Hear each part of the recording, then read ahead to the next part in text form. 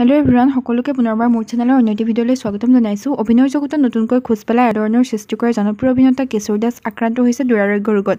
আনকি দুৰাৰোগ্য এই ব্যাধিয়ে অভিনেতাগৰাকীৰ শৰীৰৰ অন্তিম পৰ্যায় পাইছেগৈ বুলি সামাজিক মাধ্যমত সদৰি কৰিছে। উল্লেখযোগ্য যে তেওঁ বৰ্তমান হেল্থ চিটি হস্পিটেলত চিকিৎসাধীন হৈ আছে। তেওঁ চিকিৎসাৰ বাবে শিল্পী জুবিন গাৰ্গ আৰু জয়ন্ত কাকতিয়ে তেওঁ উন্নত চিকিৎসাৰ বাবে মুম্বাইলৈ নিয়াৰ কথা সদৰি কৰিছে।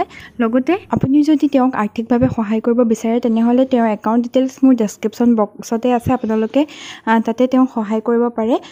জনপ্ৰিয় অভিনেতা কিশোৰ দাস যাতে সোনকালে সুস্থ হৈ আমাৰ মাজলৈ আকৌ ঘূৰি আহে তাৰে কামনা কৰিছোঁ। আপোনালোক সকলোৱে তেওঁৰ হৈ প্ৰাৰ্থনা জনাব। তেওঁৰ এই কথা গম পোৱাৰ পিছত অভিনয় জগতৰ সকলো শিল্পীয়ে তেওঁৰ হৈ প্ৰাৰ্থনা কৰিছে ছ'চিয়েল মিডিয়াত শোক প্ৰকাশ কৰিছে। গতিকে তেওঁ সুস্বাস্থ্য কামনা কৰিলোঁ। তেওঁ ভালে থাকক আৰু সোনকালে ঘূৰি আহক।